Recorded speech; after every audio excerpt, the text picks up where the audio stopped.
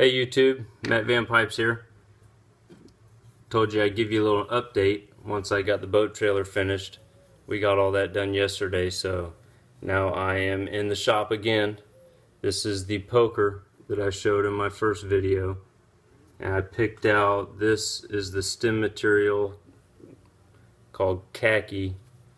A chunk of it, I cut piece off, I've already drilled it uh, I've already drilled the tenon out and I started a rough shaping as you can see.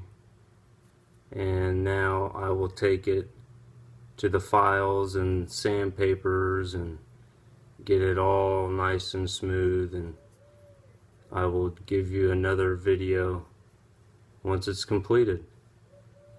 So this is it right now. It's looking really nice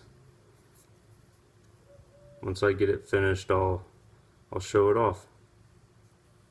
Matt Van Pipes. Take care, YouTube.